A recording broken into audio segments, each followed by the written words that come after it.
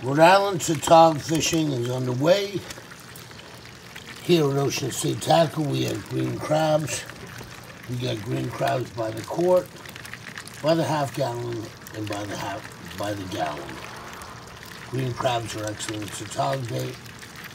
We have them here seven days a week. Weekdays we are open 6:30 a.m. to 7 p.m.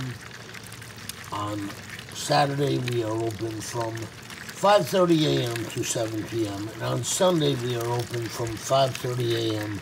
to 4 p.m. Anyway, these are green crabs. They're excellent tautog bait. They're used throughout Rhode Island, but mainly Tiverton, Narragansett, Jamestown, and Newport. But there are tautog inshore. Dave Henault, Ocean State Tackle. Peace.